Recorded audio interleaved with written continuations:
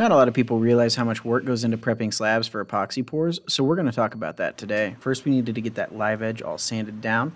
Then there's a lot of wormholes in this piece, so we used a pick to get all of that removed over the entire piece. There were thousands of them.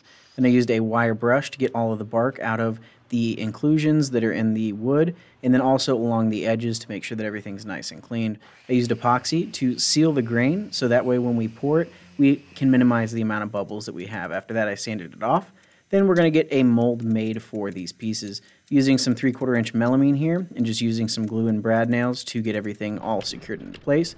Then use some silicone over the entire edges and wipe that down nice and smooth. After 24 hours, we're able to get some mold release sprayed in here and this will help with getting everything pulled back out once the epoxy is fully poured. We can get our pieces set into place and this is essentially what that's going to look like. Can't wait to get the epoxy in there and see what that looks like. Hopefully you guys enjoyed it. Have a great day everybody.